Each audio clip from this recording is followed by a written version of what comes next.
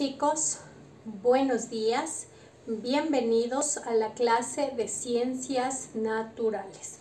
Hoy con el segundo tema que tiene relación a la Tierra y sus movimientos.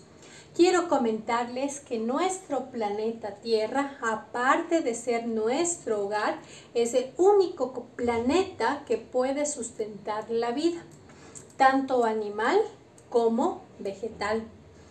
También quiero comentarles que nuestro planeta es diferente a los demás porque posee una gran cantidad de agua. El 70% de agua cubre nuestro planeta. También quiero comentarles que nuestro planeta es el tercero más cercano al Sol. La Tierra, nuestro planeta, es conocido como el planeta azul. Hecho, nosotros somos afortunados de vivir en este planeta Tierra. Ahora quiero comentarles que la Tierra tiene dos movimientos. El uno es el movimiento de rotación, que es aquel que da la Tierra sobre su propio eje. De hecho, la Tierra va girando sobre su propio eje y tiene una duración de 24 horas. Este movimiento de rotación provoca el día y la noche. No se olvide, recuerde por favor que cuando nosotros hablamos sobre el movimiento de rotación, rotar quiere decir hacer un movimiento sobre su propio eje. Aquí vale el ejemplo del trompo. No sé si usted en alguna ocasión hizo, ¿cierto?, este movimiento de bailar con el trompo o por lo menos miró. Usted puede darse cuenta que, cierto, el trompo gira sobre su propio eje. Este mismo movimiento acompaña a la Tierra en el movimiento de rotación. ¿Qué tiempo le toma a la Tierra girar sobre su propio eje? Pues 24 horas, un día completo. Esto ocasiona que tengamos la luz en el día y la oscuridad en la noche. Ahora vamos a hablar sobre el movimiento en cambio de traslación. Como puede usted notar en esta imagen, ahora en cambio el movimiento se da la Tierra alrededor del Sol en una, ¿cierto? En un eh, proceso en el que dura 365 días. No lo olvide. El movimiento de traslación es aquel movimiento que hace la Tierra alrededor del Sol y dura 365 días. ¿Qué provoca este movimiento de traslación?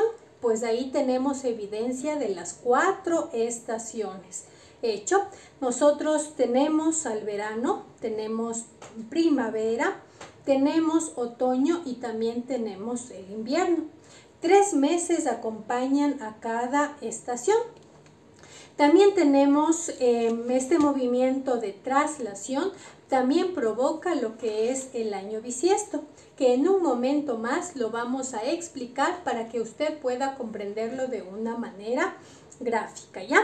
Entonces, recordemos, la Tierra tiene dos movimientos el movimiento de rotación, que es aquel que la Tierra hace sobre su propio eje, y el de traslación, que es aquel que hace la Tierra cuando da una vuelta completa alrededor del Sol.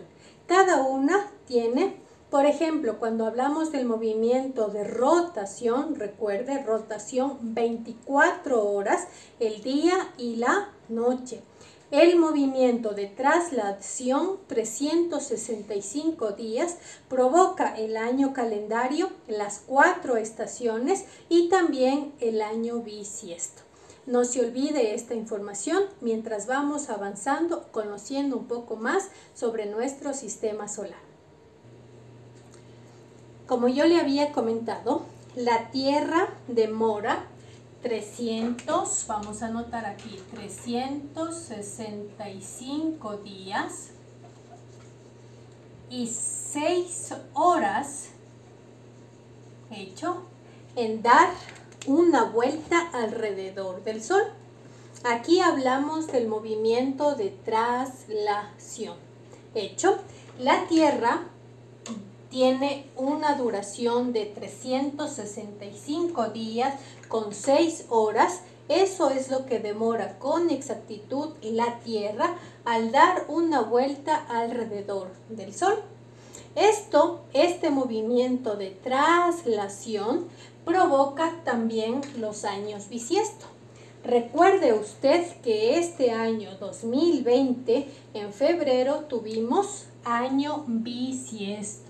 Vamos a poner acá. Quiere decir que este año en febrero tuvimos 29 días. De hecho, a eso llamamos un año bisiesto.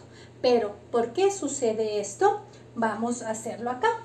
Si nos dice que el movimiento de traslación tiene una duración de 365 días y 6 horas con exactitud, en el 2017, de hecho ya lo hemos anotado, en el 2018 volvemos a tener 365 días, pero aquí ya tenemos cuántas, las 6 horas del 2017 más las 6 horas del 2018, aquí tenemos 12 horas.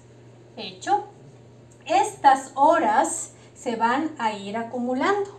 Hecho, esto nos dice que en el 2019 igual tenemos 365 días, pero tenemos ya acumulado las 6 horas del 2017, las 6 horas del 2018 y las 6 horas de aquí serían 18 horas. ¿Hecho? Perfecto, usted va viendo, ¿ya? Nosotros prácticamente en año calendario 365 días, pero con exactitud estas 6 horas se van a ir acumulando hasta formar un año bisiesto. ¿Qué quiere decir? En el 2020 tuvimos, tenemos 365 días, más las 6 horas, aquí tenemos 24 horas. Y 24 horas corresponde a qué? A un día. De hecho, recuerde usted, 24 horas corresponde a un día. Perfecto, ahí estamos. Cuando nosotros hemos acumulado en cuatro años 24 horas, quiere decir que este día se va a hacer bisiesto y lo hemos puesto en el mes de febrero. Revise usted el calendario cada cuatro años por este proceso, por estas horas que se van acumulando en el movimiento de traslación, es que en, cuatro años nosotros vamos a acumular 24 horas. Esto nos da un día completo y lo ponemos en el mes de febrero, año bisiesto, 29 días. Hecho, recuerde usted, un movimiento de traslación con exactitud tiene 365 días y 6 horas. Por eso decimos que este movimiento provoca, ¿cierto? También el año bisiesto. Recuerde también aquí la presencia de las estaciones.